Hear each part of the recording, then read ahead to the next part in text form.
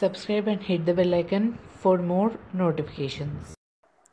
Hi friends, welcome back to Best Way to Study. In this video, we are going to see the TCS openings for a particular job role which is lead engineer. Okay, so coming to lead engineer, you ha- should have at least 0 to 1 year experience. That is you should either have 1 year experience or you can also be completely fresher with 0 years experience. Okay.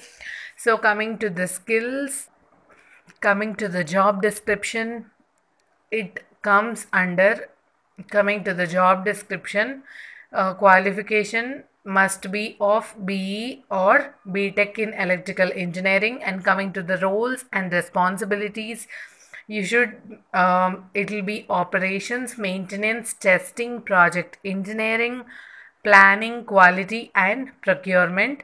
And uh, coming to the criteria in your SSC, you must have at least 60% or above. In your higher secondary, in your HSC, you must have at least 60% or above. And same with all the semesters of your BE or BTech.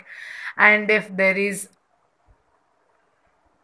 and uh, there must be no year backdrop. Okay. So there should be not more than year gap between your 12th or first year of engineering. These are the criterias.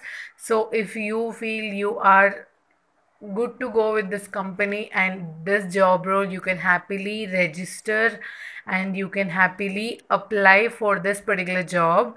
And uh, this is wonderful opportunity because coming to TCS it it is well known for its job security. Just go for it. And uh, the role is lead engineer trainee okay? So yeah all the very best.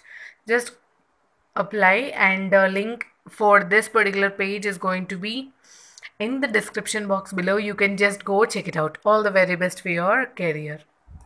So yeah that's it for today. Hope you guys found this video useful don't forget to subscribe to my channel and hit the bell icon. And also don't forget to like and share this video with all your friends. And once you subscribe to our channel hit the bell icon which is just beside the subscribe button so that you'll never miss any notification and up updates from best way to study. So yeah that's it for today. Thanks for watching